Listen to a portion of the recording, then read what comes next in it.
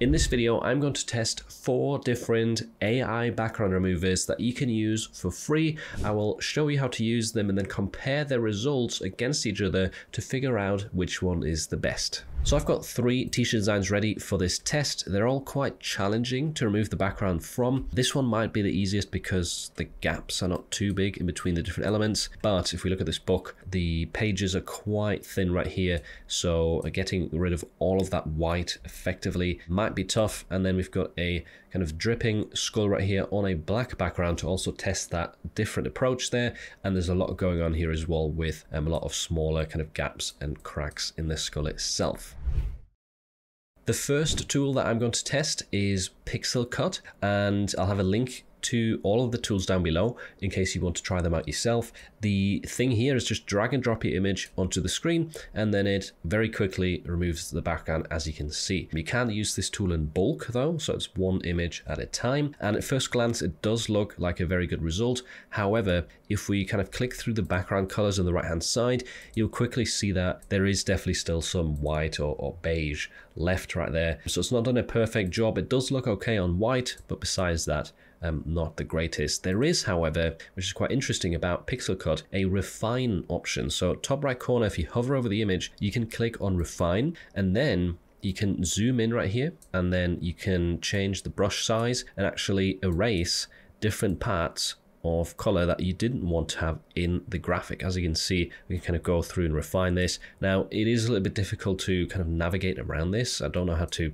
like scroll over to the right. I think, oh, there we go. It's very hard to see that bar at the bottom. So yeah, it, it's, it's a bit tough to do this, but it is good to know that even though this is a free tool, you can refine your result. Um, if you just have some minor touch-ups and then you click done, and then you're ready to download up here at around a thousand pixels for free. The second tool in this test is remove.bg and it works very similarly. You just drag and drop your image onto the page and then it scans the image, removes the background. This at first glance does a way better job. If you zoom in right here, it seems like pretty much all of the white is removed from the same places where Pixel Cut left it in. Let's try adding a background color here. Um, so can add black and yeah, it, it does look quite a lot better than what Pixel Cut did. But this is just one image, right? This is why I'm testing multiple images. Sometimes, you know, Pixel Cut might do better than remove.bg. Just depends. And one thing to note here as well is that you can't refine the uh, background removal. So there's no option right here to select or deselect anything. And if you download the free version only allows up to 500 by 500 pixels, which does make it more difficult to get those images then upscaled to a print ready quality for shirts. So that's definitely something you need to consider. If you want to remove the background from these designs for t-shirts, then this makes it tougher for sure due to this limitation. By the way, I'll put all of the images through all of these tools that I'm showing and then compare them side by side with you in a few minutes. For now, I just wanted to show you kind of how these work and what some of the little differences are.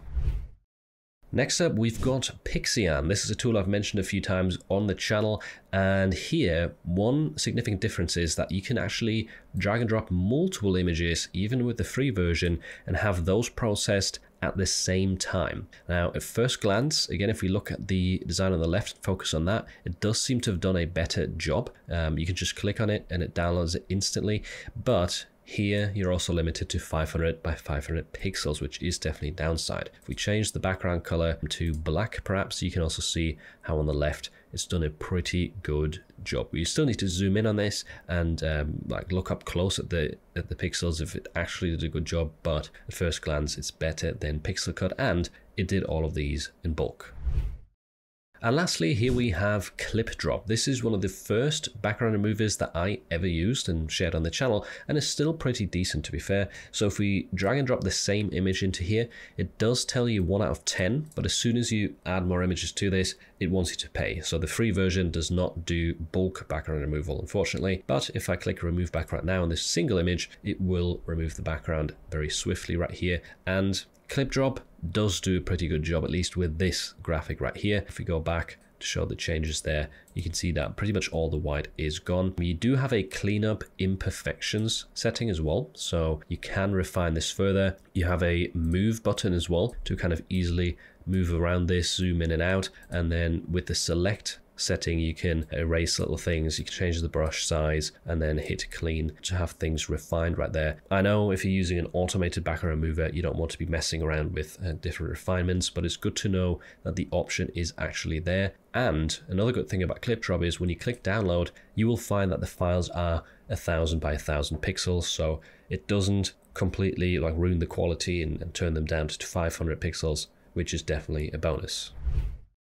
So let's take a look at these side by side. I've pulled them all up right here on separate artboards. And the thing is, if you just look at these results on white, the background that they're meant to be on, they're all going to look the same and you can't really tell how good of a job it actually was. If they're optimized for a white background, it is better to check the result of the background remover on a separate color. So in this case, black actually makes a lot of sense. And if we zoom in, we can now quickly see that pixel cut right here did definitely leave a lot of white in the graphic and it also has this horrible foggy effect around the edge so I think pixel cut right here clearly didn't do a very good job. The pixels are a thousand by a thousand still um, which is a little bonus there of course but if it's a poor background removal that doesn't really help us in my opinion. Then remove BG, Pixian and Clip Drop still look pretty much the same if you zoomed out. The ClipDrop result has higher resolution, uh, but besides that, you can't tell much of a difference from here. So what happens if we zoom in a bit to these graphics? I think with this, you can see that there is a bit of a white outline or something like a ghosting effect going on around the trees, around the text, pretty much almost everywhere, which is a little annoying and it could show up in the print. Even after upscaling,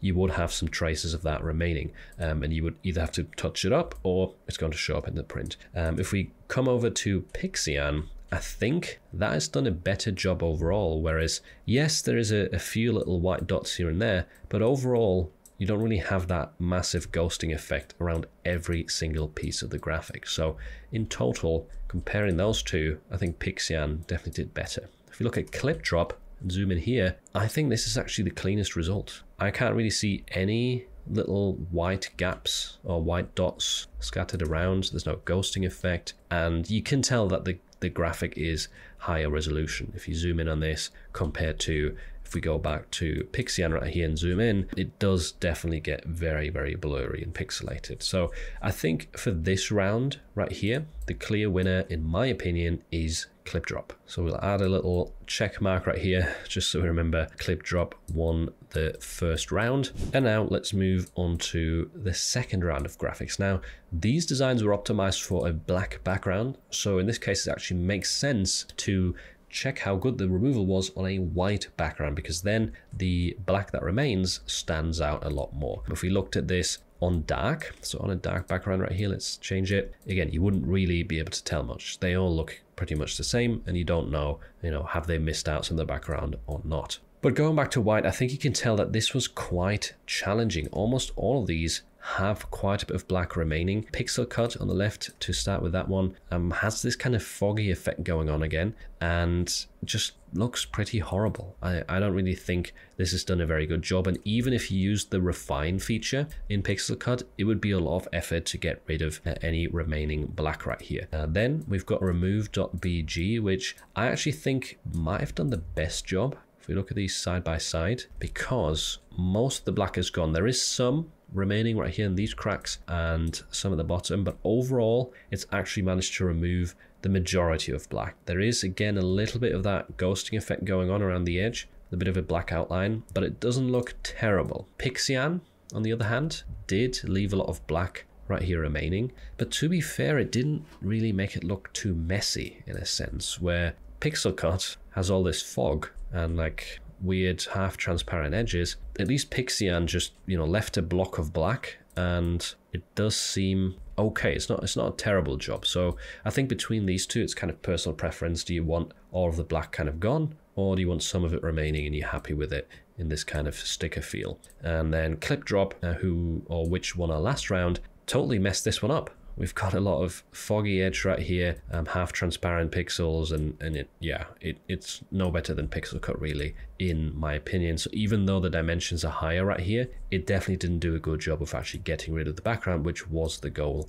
for this stage. So this is actually quite a, quite a tough decision for me. I definitely think Pixel Cut and Clip Drop lost out, but between these two, if I had to use one of these graphics and one of them only, which one would I use? I think I would go with the right. I think Pixian did a little bit better and it might look a little bit cleaner. Yes, it would be better to have some of this black removed, but overall it looks a little bit tidier, I think. But yeah, very, very close. Still, I think this round right here goes to Pixian. And lastly, we've got the book lover design. This one was quite challenging due to the kind of thin lines right here within the book and the pages. Um, but let's see how these compare. This was a black graphic and text on white background. So we actually need to kind of see this on a gray perhaps just a just a color that shows us both black and white so let's try this kind of dark gray right here and at first glance they didn't do a terrible job to me. Like, I think Pixian stands out as one that looks the cleanest.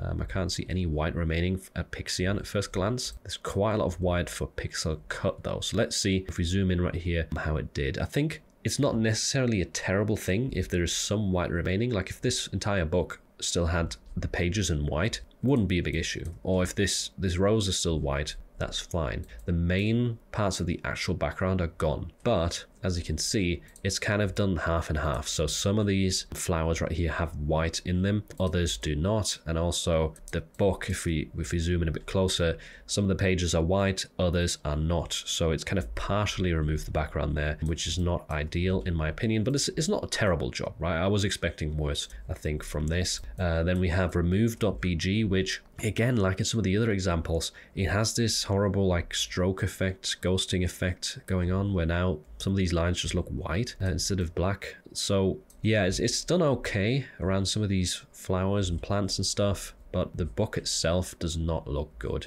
Yeah, not not too happy with that result, and also the lower quality make it hard to hard to upscale that properly. Pixian, on the other hand, I mean, the task of removing background it's done fantastically well with that. I do realize it is lower quality as well, which isn't great. It is a downside. But yeah, there's there's no white remaining here. Really, really impressed with that, especially on the book. Yeah, it, it's all gone. Very clean job right there from Pixian. And Clip Drop, the last one in the batch, does look pretty nice. Uh, I'm not going to lie. Very nice result. There's a little bit of white remaining in some of these. So the leaves do have some white strokes in them, It's just not the end of the world. Wouldn't look terrible when it's printed. It's just if it's printed on, say, a blue color. If I just change this right here to to blue, for example, it would look kind of silly to have everything in black and then just a little bit of white right here in these leaves. So that's why it's not it's not perfect. It's maybe not as good as like Pixian's result, where it's literally one color. And yeah, as you can see, Pixel Cut doesn't look too terrible either, but it's this. It's like half and half.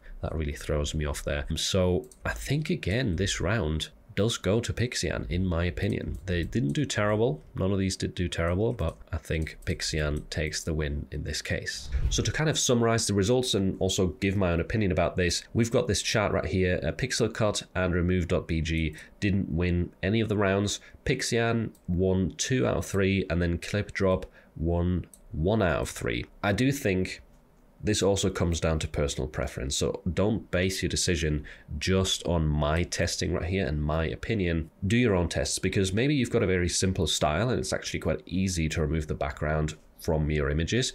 And Pixel Cut and Remove.bg also work quite well for you. Or, or, maybe you like the fact that Pixel Cut has that refine option so you can make some adjustments if something goes wrong.